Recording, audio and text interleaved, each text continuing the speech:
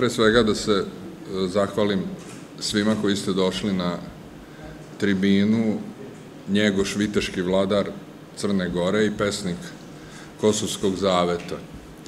Želim da se zahvalim Kulturnom centru i direktoru Bojanu Panotoviću koji su omogućili dakle generalno ne samo ovu, ali i ovu i generalno sve ostale tribine i koji omogućuju jedan bogat kulturni život u Novom Sadu, našem gradu, ne samo preko tribina, nego i preko drugih kulturnih manifestacija.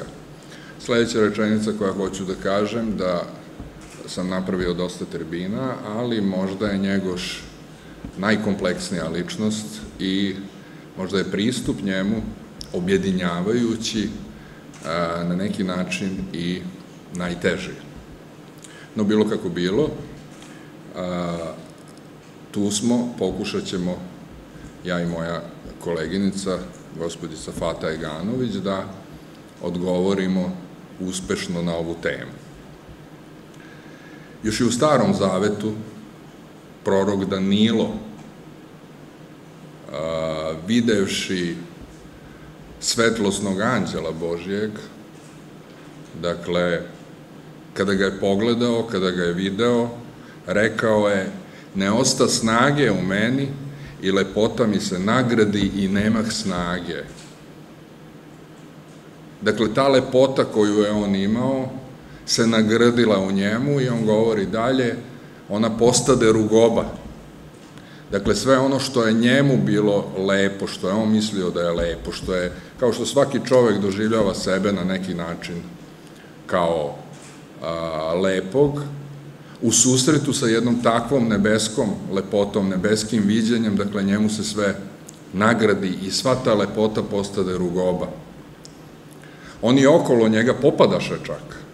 Dakle, prorok Danilo je kao i ostali proroci bio a, čista duša, izuzetno lep, pre svega duhovno lep, ali to je takva bila lepota, takva svetlost, takva snaga, da je on osetio da to što on ima je u stvari ne lepota, nego praktično rugoba, kako on kaže. Kada govorimo o vladiki Radu, Petru II. Petroviću Njegošu, možemo da kažemo, upoređujući ove stihove, naravno ne potpuno identifikujući sa ovim viđanjem proroka Danila, ali možemo da kažemo da je njegova lepota bila takva da je obilazeći sve svetske dvorove lepota drugih se na neki način nagradila i postala, postala potpuna suprotno samoj sebi. No nije u pitanju samo telesna lepota, u pitanju je pre svega duhovna lepota, viteštvo, a viteštvo je skup vrlina pre svega. Dakle, ta jedna duhovna lepota koja je oplemenjivala i telesnu lepotu je nešto što je zaista imponovalo svima onima koji su sreli vladiku rada, odnosno Petra II. Petrovića Njegoša. Svako ko izučava Njegoša ima taj osjećaj, verujte mi. Jer to je jedna takva gromada stvorena, dakle, iz jednog trovekovnog trpljenja, odricanja svega zarad slobode o kojoj ćemo pričati, specifične slobode, dakle i kao kruna svega toga se pojavio Njegoš. Kao jedna iskra za nebo stvorena, besmrtnijem Bogom pomazana. Tako svako, verujem, ko nepristavno priđe Njegošu, tako ga vidi. O tome ćemo pričati o tribini, na, na tribini, rekao sam kompleksnost njegove ličnosti izuzetna je i upravo zbog toga moj gost je večeras gospodica Fata Eganović, kao što sam rekao, pesnik, književni kritičar i eseista, i ona će taj jedan deo Njegoša pokušati da objasni, dakle, taj književni deo Njegoša.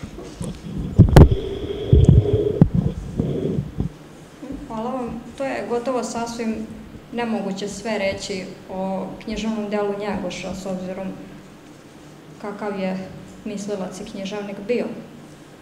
Ono sa čime možemo početi ovo izlaganje to je da postoje tri stvari koje određuju heroja, odnosno junaka u antičkom smislu. To su plemenito poreklo, lepota fizičkog izgleda i junačka dela. Ono što se malo zna je da se malobrojan broj ljudi na planeti rodio sa takvim osobinama, sa sve te tri osobine. Konkretno u našoj istoriji to je bio Njegoš, a pre njega despot Stefan Lazarević. Biti svetovni i duhovni vladar jedne zemlje, a istovremeno takav književnik i takav književni mislilac i takav filozof, bilo je prilično, prilično teško i prilično stresno i strašno za čoveka koji je tako kratko živeo opet za tako kratak život uradio više nego neko ko bi živeo i tri puta duže. Thomas Stearns Eliot je u svom eseju Tradicija i individualni talenat iznao jednu tezu koja je obeležila pogled na savremenu knježevnost, a to je da on posmatra svetsku, odnosno evropsku knježevnost kao jedan organski sistem, odnosno kao jedan lanac, dakle od, počevši od antike do današnjeg dana i tom lancu se priključuje individualni talenat, na njega deluje, postaje njen, deo. možemo da kažemo da je Njegoš sasvim uspešno uspeo da uđe u tu evropsku književnu tradiciju rame uz rame sa celokupnim književnim talentima počevši od Homera pa do današnjeg dana. Ovako, počet ćemo od priče o Luči i mikrokozmi, gde možemo prepoznati da je on idejno korespondirao sa čitavom evropskom književnom tradicijom. To ćemo objasniti kroz primer subjekta koji napušta ovaj svet da bi u meta stvarnosti došao do nekog saznanja. Pa tako imamo kod Homera Odisejev silazak u podzemni svet, potom Vergilija koji svog junaka Enea šalje u podzemni, odnosno svet koji nije ovaj da dođe do određenog saznanja u vođstvu boginje Sibile. Onda imamo Dantea koji ovaj motiv obogaćuje, to jest oblači ga u hrišćansko ruho i svog, to jest kao junak svog dela putuje kroz pakao, čistilište i raj u pratnji Vergilija. E sad, zašto Vergilija?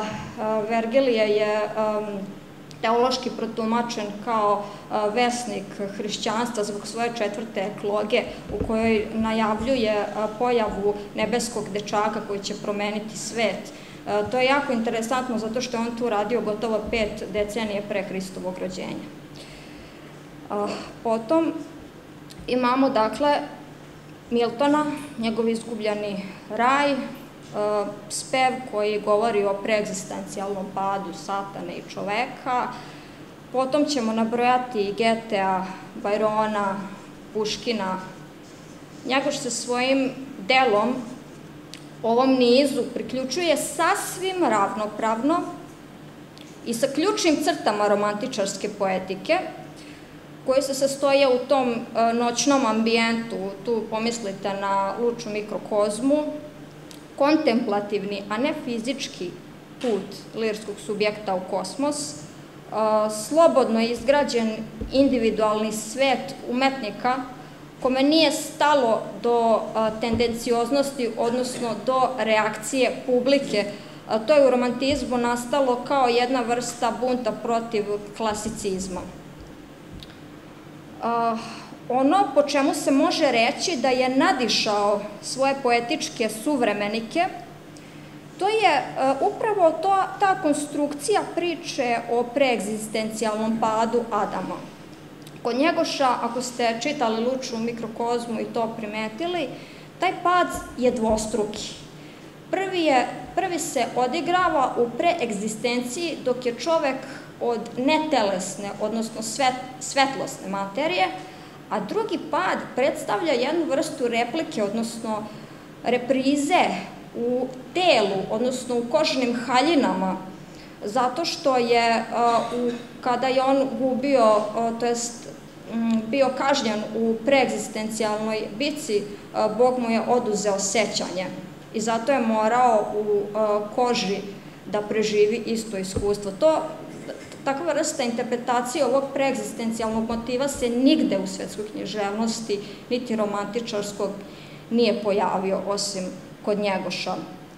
E sad, još jedna stvar kojom je on uspeo da nadiđe evropske romantičare, a to je pojam luče. Luča, kao što i sami znate, predstavlja svetlost ili snop svetlosti koje on tumači kao svetlost sa božanskog ognja i da je da svaki čovek ima tu luču kojom je obasjana njegova duša i kojom je oživljeno njegovo telo. Ta luča će se, nakon što čovek završi sa ovozemaljskim životom i oslobodi se tela, luča će se vratiti svome ognju. Tu luču, prema mišljenju Đorđe Spera Dojčića, Njegoš baštini od Domentijana, našeg srednjovekovnog hageografa, kao što vam je poznato, on je pored Teodosija napisao još jednu, kako da kažem, varijantu žitija Svetog Save i, e, i dan danas se stručnjaci srednjovekovne književnosti aktivno bave izučavanjem njegovog dela i poznato je da su ga, to jest nazvan je e, Dementijan pesnikom svetlosti. E, time se vidi da Njegoš, koji je jedan moćan, izuzetno moćan um i radoznao čovek, koji je znao nekoliko jezika, koji je čitao aktivno na tim jezicima, temeljno poznavao antičku književnost kao i svoju suvremenu književnost izuzetno dobro znao i srpsku srednjovekovnu hageografsku književnost, bio svestan svoje književne tradicije i doprineo tome da pokaže njenu autentičnost i specifičnost i tako se priključi svetskoj evropskoj književnosti. U Luči mikrokozma Njegoš je postavio nekoliko egzistencijalnih pitanja čoveku. Ta pitanja se tiču svakog čoveka na planeti. I po tome se vidi kolika je književna vrednost odnosno kolika je duhovna vrednost njegovog dela. Reći ćemo i da Njegoševo delo predstavlja predmet izučavanja mnogih eminentnih umetnika i eminentnih stručnjaka, kao što su Vladeta Jerotić, Milo Lompar, Miron Flašer, Isidora Sekulić, Anica Savić-Rebac, Ivo Andrić i mnogi drugi, ali Zapamtite, ovo su sve među sobom različiti ljudi, iz, imaju različito metodološko polazište i tako dalje, a svi se oni jednoglasno slažu u tome da je Njegoševo de, delo idejno i strukturalno i estetski i poetički savršeno i neprevaziđeno. Evo uzmite samo Gorski vijenac, koji nije samo, kako da kažem, jedan vijenac prelepih stihova, nego je to i jedan idiličan prikaz patrijarhalne zajednice koje više nema. Vi morate da volite te ljude. Osjećate nostalgiju u kom god vremenu čitali Gorski vijenac. Vidite njihov, čemu se smeju oni, iako je sudbina tog naroda poprilično tragična, što se vidi u liku vladike Danila i igumana Stefana, ali zato imate poprilično satirične likove koji unose neki, ne, ne, neku živost i, i veselje u, u to delo koje ostaje uvek sveže. Pa sam zato htela da vam kažem neke stihove, da vas malo i nasmejem kako Vojvoda Draško govori o odnosu prema mlecima. On je inače davno putovao, pa sad to prepričava i kaže kako tri, o mlečanima, kaže kako 30 napuni godinah svaki dođe kao babetina, od bruke se gledati ne može kako pođi malo uza stube, ublijedi kao rubetina, a nešto mu se zaigra i po grlo, rekao bi onaj čas umrijeti.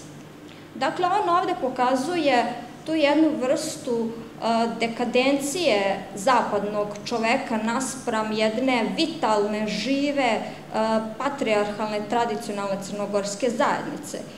Govori se takođe i o jelu i piću, recimo u mlecima, pa kaže za mlade plemiće, kaže još te mladi, a obezubeli, sve ližući one poslastice, od želje se sad najedoh mesa.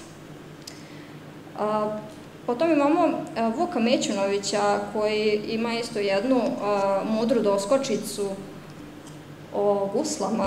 Kaže, gdje se gusle u kuću ne čuju, tu je mrtva i kuća i ljudi.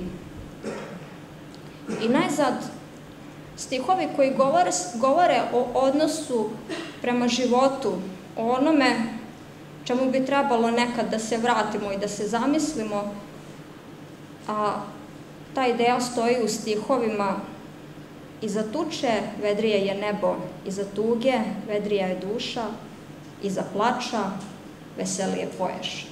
I naravno niko ne može da zaboravi Vuka Mandošića i njegove ljubavne jade u ovom uh, tako dobrom književnom delu koje je izuzetno uh, teško žanrovski odrediti, ali na kraju krajeva uh, možda ta težnja za žanovskim određivanjem nije ni bitno.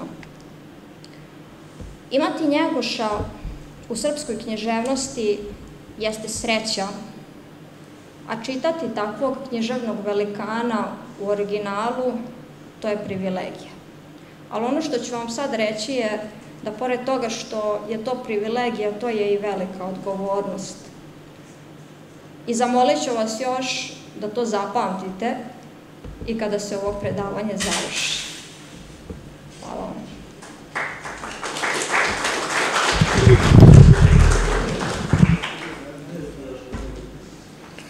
Ovde je sada gospođa Jaganović rekla jedan motiv jako bitan, kroz, prosto sam osetio potrebu da se nadoveže kada se Vojvoda Draško vraća iz Mlečića i po onome kako on izveštava Crnogorce, vi vidite da su Mlečići potpuno pročitani. Znate, u pravom smislu reči oni su potpuno pročitani.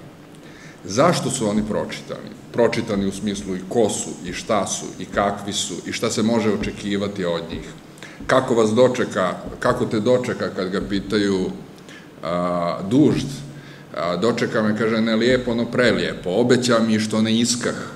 Znači, to je taj prvi utisak, ali onaj poslednji kad kaže, kad to sve pošlje izlinja, kada ništa ni zboreno nije. Znači, Draško je potpuno jasno, on je otišao sa viteškim vrlinama, znači sa jednim dubokim moralnim kodeksom koji je ugrađen u jednu zavetnu misao i on odlazi tamo i smatra, pogotovo pošto je to jedna velika civilizacija, on očekuje to isto. Međutim, on ono što vidi, to je poražavajuće za njega, ali je bitno da on to vidi u momentu, u momentu vidi i pročita to. E, to je moguće samo u jednoj situaciji kada je neko, kako je govorio e, Sveti Vladika Nikolaj, a kako se baštini od Svetog Save, dakle, kada je neko iznad istoka i zapada, ne između istoka i zapada, što je često naša kob, nego prosto iznad istoka i zapada i zbog toga može iz perspektive večnosti, iz perspektive duhovne da sagleda i zapad i istok.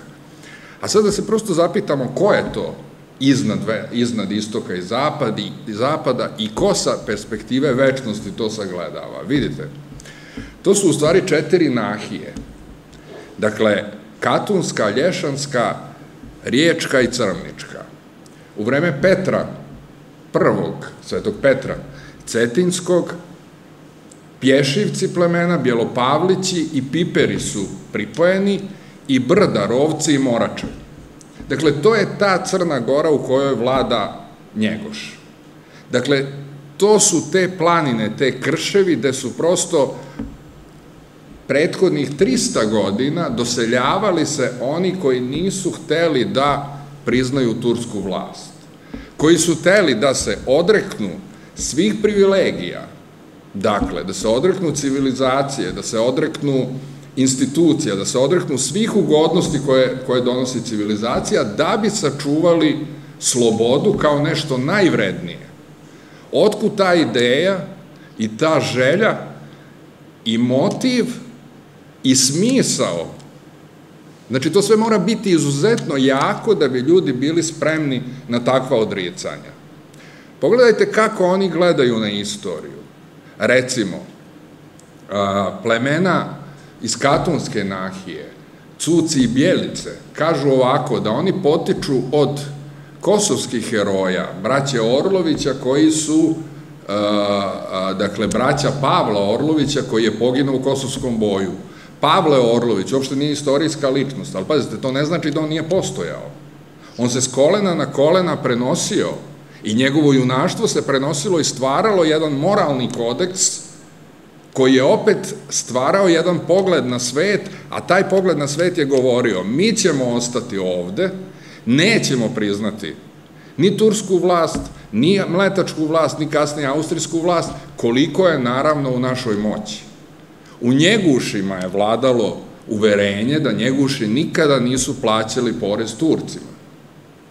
Znači, to su ne, ne, ne, neke osnove na kojima je prosto stvarana, stvarana Crna, e, Crna Gora, odnosno na kojima su ta plemena egzistirala. Dakle, oni su iz države e,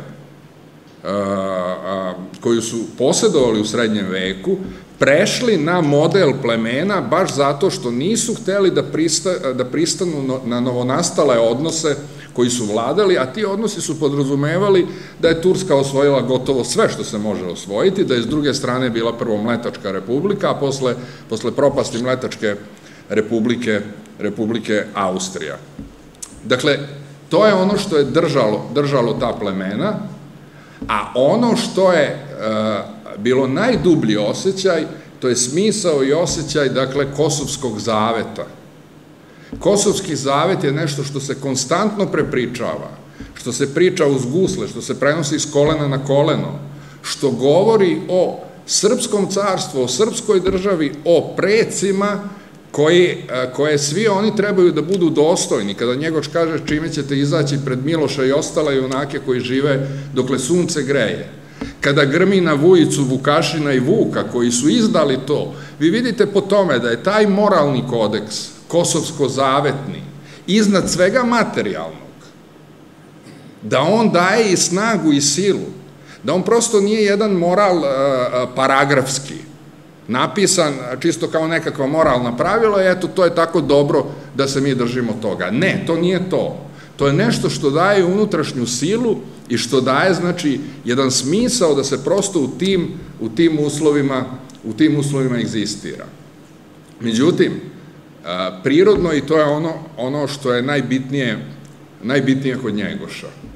Prva stvar, kada govorimo o Njegošu i kada kažemo drugi pesnici, znate, kada je neko pesnik, a većina su samo pesnici bili, ni, ja bih rekao, ni deseti deo odgovornosti nisu imali kao njegoš. Već sam spomenuo, on je bio duhovni vladar, svetovni vladar.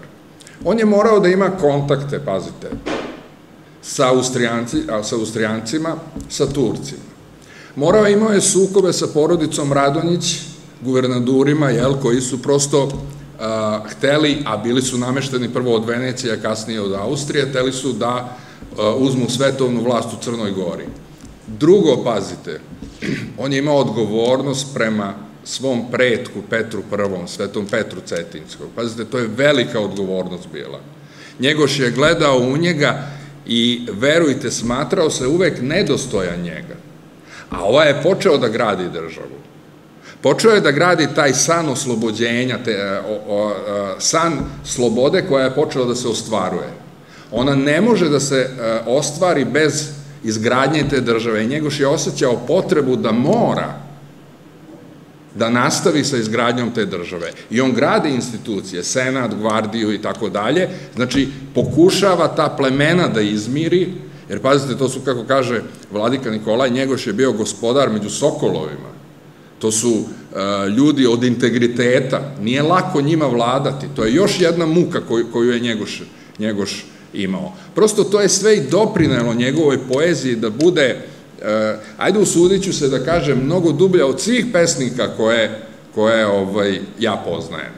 Naravno, to je Njegoša i okrenulo u jednom drugom pravcu, da se pita što crnogorci, odnosno što moj narod toliko pati, srpstvo na svim krajevima, jel? I Austrije i Turske i ovog dela, naravno da je on, najviše se pita za taj deo da je on. Što ono toliko pati? I to sada nas dovodi do one glavne ideje i nje, kod Njegoša koja se provlači i kroz sudbinu nacionalnu srpsku, ali i kroz sudbinu sveta, znači ideja pada. I upravo on daje odgovor zašto je srpstvo došlo u tu situaciju i konkretno srpstvo u Crnoj Gori, zašto dolazi u takvu situaciju i zašto mora da se odriče svega da bi sačuvalo, da bi sačuvalo taj zavet.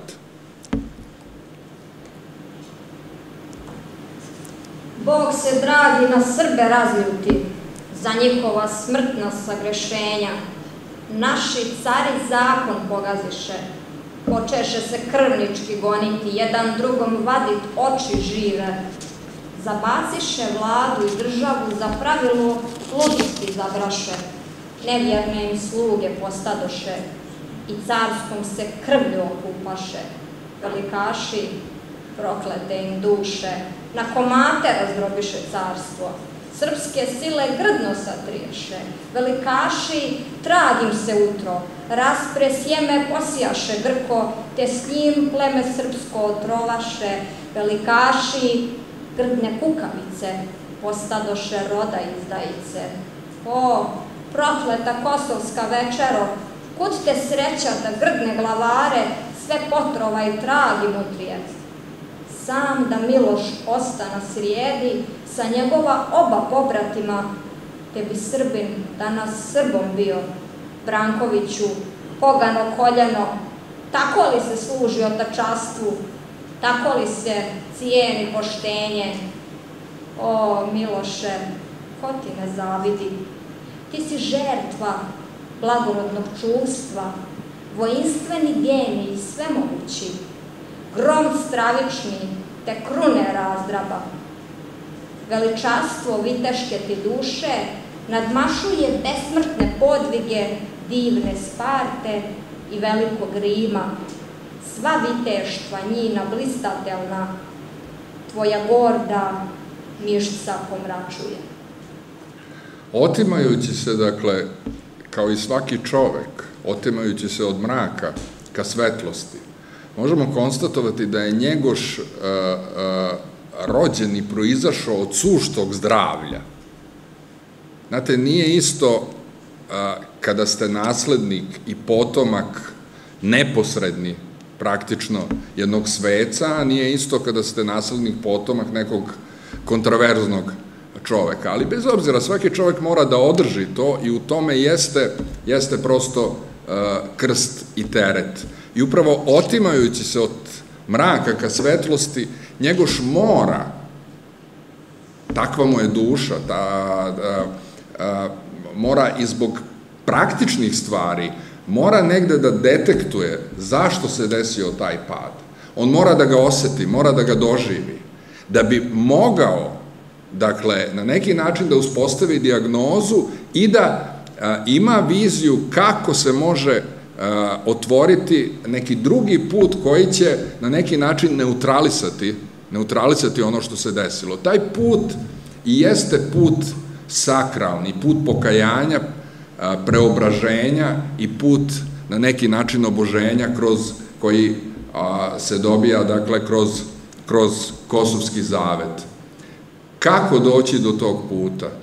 Njegoš konstatuje, videći i tri veka pre sebe, da je prosto nemoguće posle jednog takvog pada izbeći iskupljenje koje podrazumeva prosto nošenje, nošenje krsta i to jednog ozbiljnog krsta.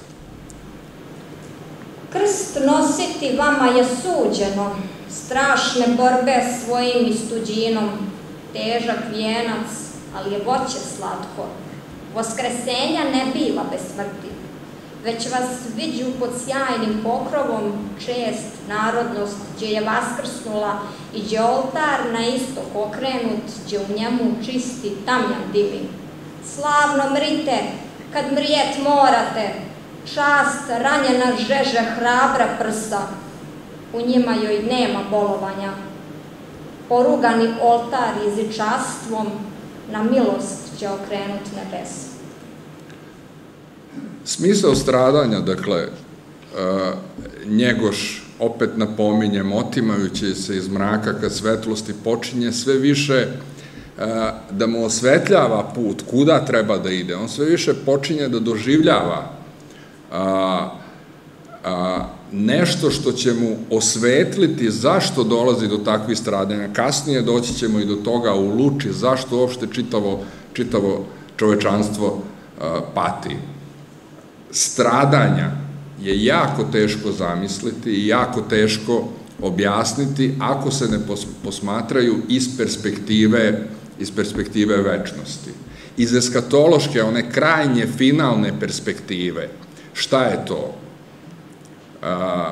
eskatologija, to sam spominjao na tribinama, ali sad ću povezati, mislim da ću još dodati na tu priču nešto. To je liturgija, pre svega ona se dešava na liturgiji, evharistijom, pričešćem, gde se pričešćujemo logosom koji je svedok novog doba, koje će doći, ali koje je prisutno i na liturgiji, koje uzdiže čoveka i čovek u tom stanju uzdignuća može mnogo lakše, odnosno tek tada može da shvati prave uzroke prave uzroke stradanja. Zašto, zašto ovo govorim? Ovo je jako bitno. Mnogi istoričari su se trudili i uopšte a, a, naučnici, antropolozi, psiholozi, sociolozi i tako dalje, da objasne, da objasne stradanje. Međutim, i da objasne uopšte šta se desilo reci, recimo sa srpskom državom, zašto je ona propala. Ali taj pristup tajinski, se samo događa kroz eshatologiju, kroz pričešće, dakle, onim večnim, gde postajete saučesnik, saživljavate i doživljavate, e, dakle, e, pričest novog doba, novog eona koji Hristos nosi. Iz te perspektive, i koji je sam Hristos, iz te perspektive, dakle, vi sagledavate zašto su se neke stvari desili. To je ona priča iznad istoka i zapada. Samo tako se svata, svata istok i zapad. To je ono što je njegoš vremenom, vremenom sve više shvatao. Da je on to jako dobro shvatio, vidimo iz stihova Luče mikrokozme, gde prva dva dela govore, dakle, o nebeskom carstvu, o jednoj liturgiji, liturgiji u nebeskom carstvu. De, tek kada se to doživi, onda postaje potpuno jasan pad i srpskog carstva, ali i Adama, a i Satane. Na nje je pre prijestol mirosijatelja, te u svjetlost biće okupao. Još Bog nek zna šta mi angel priča, no ja pogled put neba istravih i zanešen ne čujah angela, već trepetom svijet svjetova gledah i slatka me nemoć obuzela. Svati ovde ginu ponjatija, obrazi sami sebe gone i gube se u neizvjesnosti.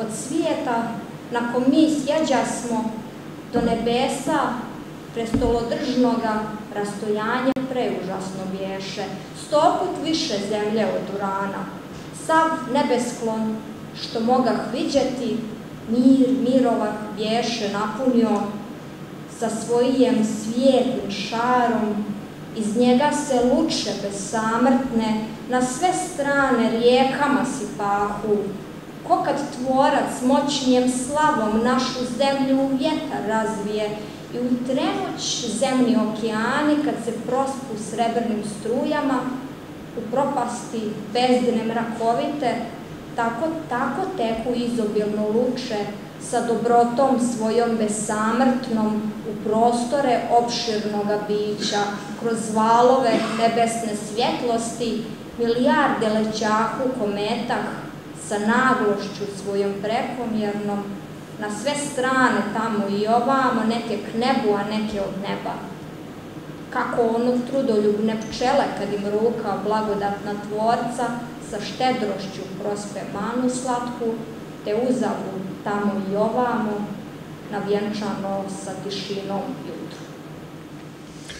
Apostol Pavle je bio uzdignut na treće nebo i bili su još neki svetitelji i njihova kazivanja posle toga su bila ne štura, nego nikakva, jer oni prosto kažu ne mogu telesnom čoveku to da objasne, on će sve te reči koje čuje shvatati telesno. I jedino što nam je ostalo od toga da je to, kako kaže apostol Pavle, što uho ljudsko ne ču i oko ne vide, to ugotovi Bog onima koji ga ljube. Ja neću da kažem da je Njegoš bio uzdignut kao apostol Pavle, ali siguran sam da je da su ovi stihovi Luče mikrokozme plod božanskog nadahnuća i viđenja, viđenja Njegoša. Dakle, Njegoš to vidi, ali opet s druge strane Njegoš vidi i Crnu Goru, vidi i stradanje, vidi da je krst nositi crnogorcima suđeno, vidi da se za slobodu mora boriti, da se još mora odricati da bi Srbi zavet ispunili. Sve to Njegoš vidi i zbog toga on stradanju daje jedan poseban pečat. Pazite, stradanje je obično svaćeno kao nešto negativno. Pazite, u ovoj modernoj civilizaciji mi toliko više ne, razumemo taj model razmišljanja i te izraze, ili ti svi izrazi su kod nas dobili potpuno suprotni smisao. Vi danas ako kažete nekom za stradanje, on ne može da nađe ni jedan pozitivan razlog tog stradanja. Ali stradanje u smislu eshatološkom, ako vam je to cilj, Stradanje je u stvari najbrži put do vere, a vera vas vodi opet na liturgiju, dakle vodi vas u proslavljanje tvorca i pričešćivanje, dakle samim logosem i novom stvarnošću. Znači, stradanje je taj najbrži put, ono izaziva udar, pazite, to možete videti u životu. Kaže naš narod, bez nevolje nema bogomolje. Dok čovek ne dođe do stradanja, on teško može da se pokrene uopšte. A kamo li da počne da pomišlja, dakle, o nekim suštinskim stvarima, o nekim suštinskim relacijama, da bi on mogao drugčije da počne da živi, da taj čitav put kojim je on išao nije dobar, da bi možda trebao da bude bolji i tako dalje. Vidite, umovanje produžuje taj put do vere i do Boga produžuje ga. Može možda i umovanjem da se dođe, ali ga produžuje. Ja lično sumnjam da može bez, naravno time ne, ne negiram umovanje, ono je i tekako bitno, ali ako ne postoji taj udar, ta iskra, iskra koja se sudara sa jednom božanskom iskrom kroz stradanje, nažalost tako je, drugčije ne može, ovaj, prosto i umovanje onda gubi, gubi snagu. Pazite, treća varijanta je materijalno blagostanje. Ono taj put produžava u nedogled. Ja bih čak rekao da ga potpuno onemogućuje, jer čovek koji nije prošao nikakva iskušenja, nikakva stradanja, on teško da može da ima kontakt, kontakt sa, sa ovaj, e, prosto, prosto ovaj, verom. Dakle, stradanje je nešto što Njegoš jako dobro osjeća. Vidite, ima jedna jako bitna stvar. Ako ćemo pričati o dubini pravoslavne misli, jedini takmac Njegošu ili, ili, ili brat Njegošu, po tome Dostojevski, čitavog života se mučio sa, sa uh, uh, fenomenom stradanja taj fenomen, e, on nije mogao da prihvati hrišćanstvo dok nije nekako rešio taj fenomen, naravno kroz praksu, kroz molitvu, kroz, jer u pravoslavlju se tako rešava, ne, ne, ne samo umovanjem, jel? Ali Njegoš ima vrlo, vrlo dobre stihove gde se vidi da je njemu potpuno jasna potreba tog stradanja. Stradanje je krsta dobrodetelj, prekaljana, iskušenjem duša, rani tijelo ognjem elektrizma, a nadežda veže dušu s nebom, kako luča sa suncem kapljicu. Što je čovjek, a mora biti čovjek? Tvarca jedna te je zemlja vara, a za njega, vidi, nije zemlja. Dakle, e, srpski put zavetni, je put stradanja, to Njegoš dobro osjeća, to Njegoš zna, ja bih rekao, on taj problem rešava mnogo brže, ne bolje, rešava ga na isti način, ali mnogo brže nego čak, nego čak i Dostojevski koji se, koji se čita život mučio sa tim problemom. Mada, to je možda samo tako, samo tako na izgled. Gledajte, kada sam govorio o a, ma, razlozima zašto čitav srpski nacion, čitav srpski narod pati, Njegoš ga je, dao mu je diagnozu kroz propast carstva koje, koji je bio uslovljen neslogom velikaša. Zapamtite ovo, ovo je jako bitno. Velikaši su tražili autonomiju posle cara Dušana. Car Dušan je bio jedna ličnost koja je uspela svojim autoritetom, ne institucionalno, ali svojim autoritetom je uspela, dakle, da sabere sve srpske zemlje i sve srpske oblastne gospodare. Onog trenutka kada je on umro, srpski oblastni gospodari su svi se osamostalili. Svi su tražili autonomiju. Gledajte, ono što je jako bitno, oni su smatrali da je to potpuno prirodno, da je potpuno prirodno da svi oni budu gospodari u svojim oblastima. Međutim, to ne da nije bilo prirodno, nego to je bio elementarni uslov prodora Osmanlija. Da li bi istorija izgledala ovako, da su svi Srbi svi balkanski narodi bili ujedinjeni, to je, već, e, to je zaista, zaista po znakom pitanja. Ovo vam govorim zato što se motiv pada i motiv, e, e, dakle, tragedije koja će kasnije uslediti pojavljuje u luči mikrokozmi. Gledajte, luča mikrokozma je, ja sam je izabrao negde za drugi deo predavanja, a ona može, pošto je i napisana 1845. pre, uslovno rečeno da kažemo trilogije Luča mikrokozma, Gorski vijenac, lažni car Šćepan Mali, dakle, Luča mikrokozma je prva a, dakle, o ta tri dela. Dakle, Njegoš se prvo mučio kosmičkim problemima, padom Adama i kroz Adama, kroz Adama celog čovečanstva. Od šest pevanja Luče mikrokozme, dakle, tri su posvećena padu. Kao što sam rekao, prva dva su posvećena nebeskom carstvu, posvećena nebeskoj liturgiji, posvećena nebeskim blagodatima. Zašto? Da bi se baš objasnilo iz kog stanja i iz koje blagodati je proizašla ta pobuna. Time je ta pobuna već u startu na neki način obesmišljena.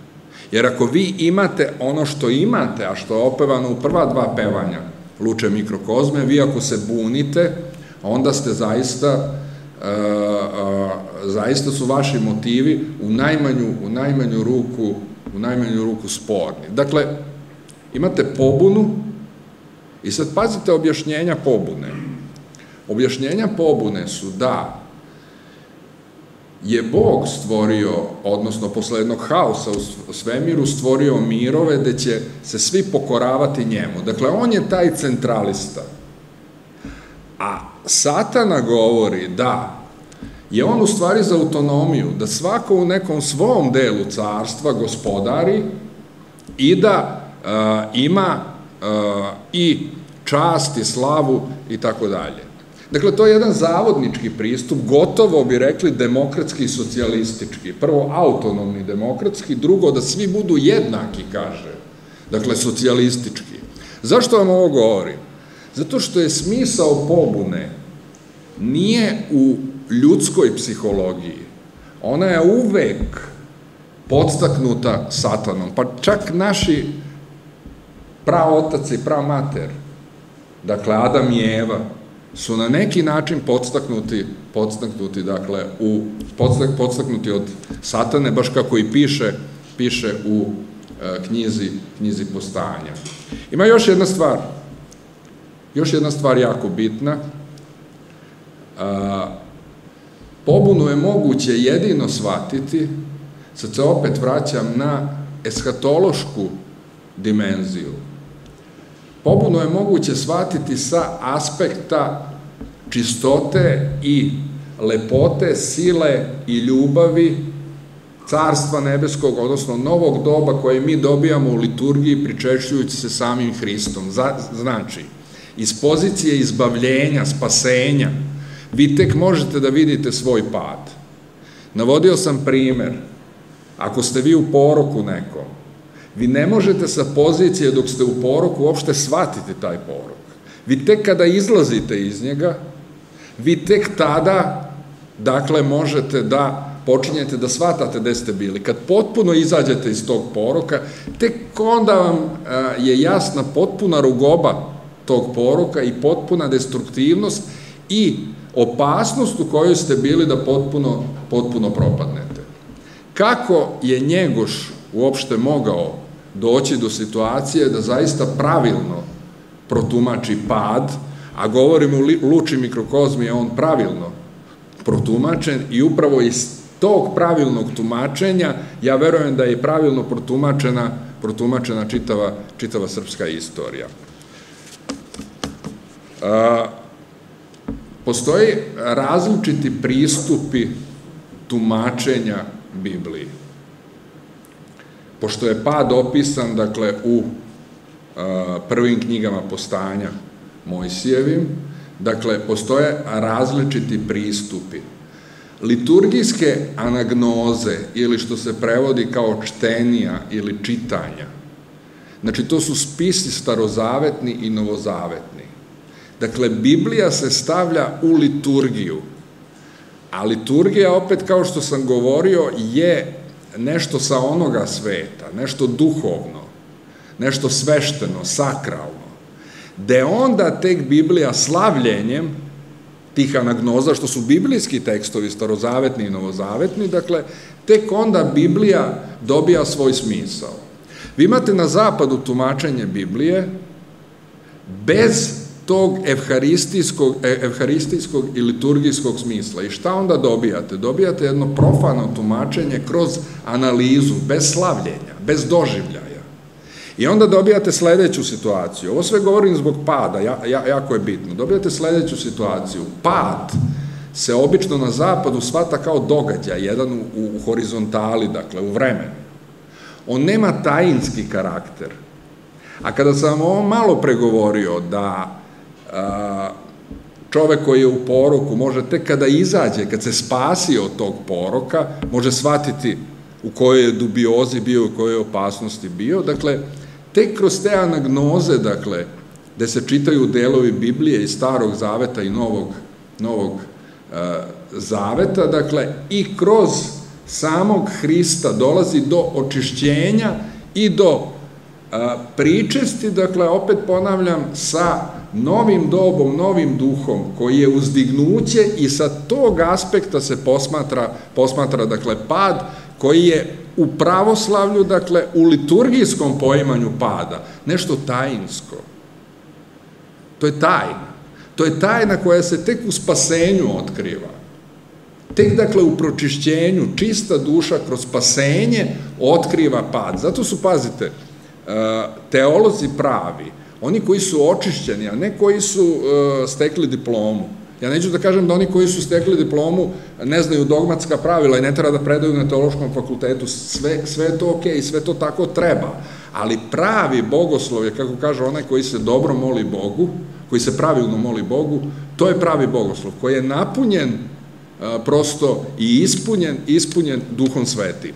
E sad hoću da kažem, njegoš sa te perspektive, pazite, posmatra pad. I ako pogledate ovako, liturgijske anagnoze ili čitanja na Aranđelovdan, Mitrovdan i Veliku gospojinu govore o padu u Evanđelju po Luki, stihovi 16 do 21, govori Hristos gde vide, vide e, satanu gde pade kao munja s neba. Šta hoću da kažem? Njegoš je u tom duhu i to ga štiti. Možda čak i od ovih drugih romantičara koji pričaju o satani, a satana je jako zavodljiv, da ne pogreši, da jasno detektuje i pad, i satanu, i svu dubinu tog pada. Jer gledajte, satana se definiše, pa čak ga na neki način ovaj, definišu kao smelog pobunjenika, to smelo, znate, može da deluje i kao hrabro, može da deluje i kao drsko, naravno, ali negde je neodređeno. Kod Njegoša je to jasno, potpuno.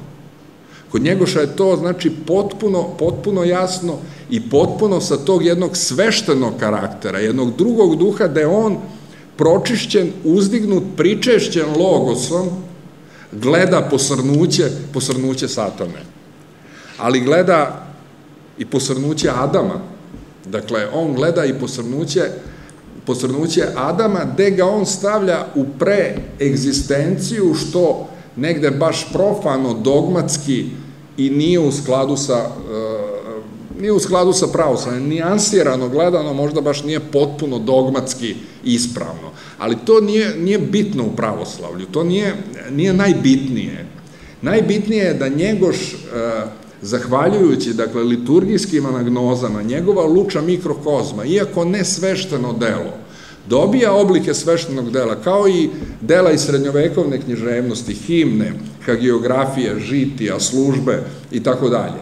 Znači, njegoš je potpuno u luči mikrokozmi, koja je negde sporna nekada za, za pravoslavne i teologe čak i neke druge književne kritičare, sporna je njena pravoslavnost Ja hoću upravo da kažem da je apsolutna pravoslavnost luče mikrokozme, bez obzira, bez obzira na, na sve te nijanse. Dalje, dalje šta hoću da kažem. Ako nemate to što ima njegoš, pazite, vi se onda pričešćujete drvetom poznanja dobra i zla. A dobro i zlo je uvek zlo. Jer pazite, ako u i te sam primere navodio, najzgodnijim je, ako u čašu ovu koja je bistra voda usmete samo kap otrova, sva voda će biti zatrovana. Znači, to je mešavina dobra i zla. Ona, ona je na kraju donela, zlo.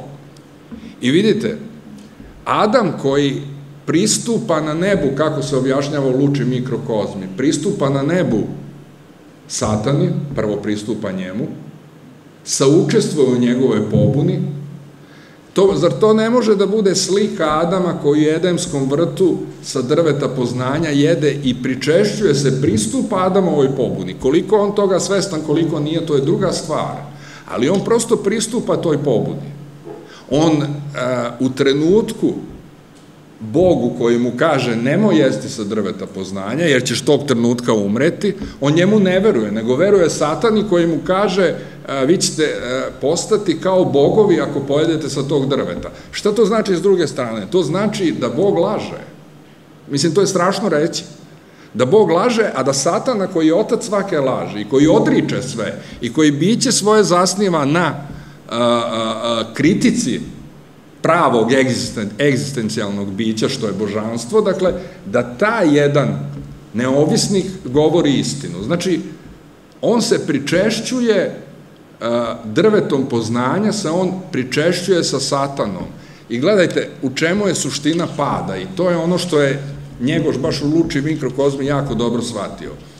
E, tumačenje Biblije bez e, liturgijskih anagnoza, bez liturgije, bez pričešća, bez e, učešća i saučestvovanja u novom dobu koji nosi Hristos, Hristos Logos je tumačenje Biblije sa drveta poznanja. To je profano tumačenje i zato sam i rekao, tu se pad tretira kao događaj. A on nije događaj, on je tajna, shvatljiva jedino u Hristu, jedino u uzdignuću, jedino iz perspektive večnosti. Ona se ne može iz ove perspektive shvatiti, jer ti ljudi nisu osveštani da bi je shvatili. Da li oni bili naučnici, da li oni bili, bili ovaj, bilo šta. I pristupajući tako, oni prosto kao da a, a, potomci, oni koji su pojeli s drveta poznanja, tumače Bibliju. I otuda, pazite, evo sad imate samo jedan primer, aktuelan, darvinisti i kreacionisti. Neću da se udubljujem uopšte koji u pravu, to je potpuno nebitno. Imate s jedne strane darviniste koji imaju nekakvu naučnu teoriju, ona može da se e, tumači ovako i onako, ima negde osnova, negde nema osnova i tako dalje, ali imate jedan dogmatski stav, e, dosta agresivan, koji pokušava da dokaže ateizam sa tom teorijom. Ali vidite sad s druge strane, imate bez uh, liturgijskog tumačenja, bez čitanja novozavetnih i starozavetnih, bez duha, bez logosa, bez pričešća, imate tumačenje kreacionista, koje je potpuno sekularno, svetovno i koje hoće Bibliju da potpuno, dakle, upregne, upregne u nauku, koje Bibliju potpuno bukvalno svata, kao neki naučni priručnik. Gledajte, mi smo to imali.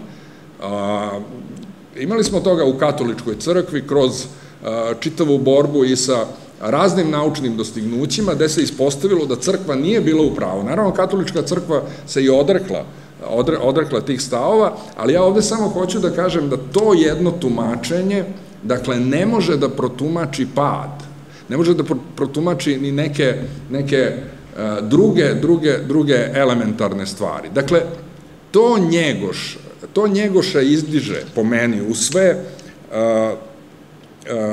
svo saglasje da je njegoš pogotovo nama bitan zbog toga što je bio potpuno deo tadašnje Evrope. On je prosto jedne modele, crpeći, znači, svoju tradiciju, jedne modele romantičarskog pravca prihvatio.